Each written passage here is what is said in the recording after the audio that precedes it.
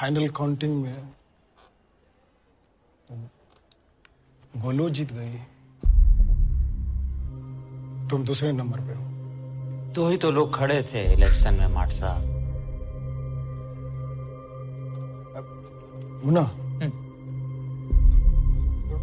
Recounting करवाए। अरे माट साहब काहे भैया उन लोगों का काम बढ़ा रहे हैं? रूल के हिसाब से हुई है ना वोटिंग उसमें तो कोई फेरबदल नहीं हुआ। बस। अरे मठ साहब। हम्म? गजगामिनी जी को तो फ़ोन करिए। गोल, को फ़ोन लगा। आप फ़ोन में लाइए।